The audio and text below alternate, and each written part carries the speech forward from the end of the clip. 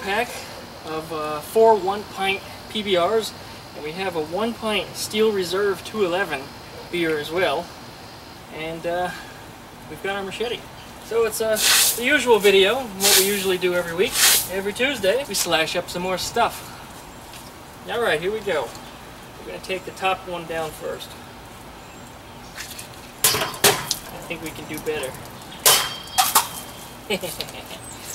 Alright, now this is going to be tricky because it's twice as thick in all directions. It got them all. Every single one of them.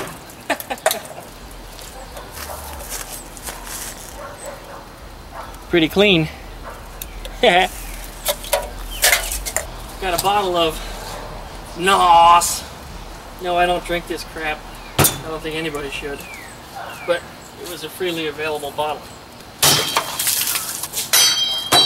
And we got us a one liter bottle of Coca-Cola. One liter bottle of Coca-Cola.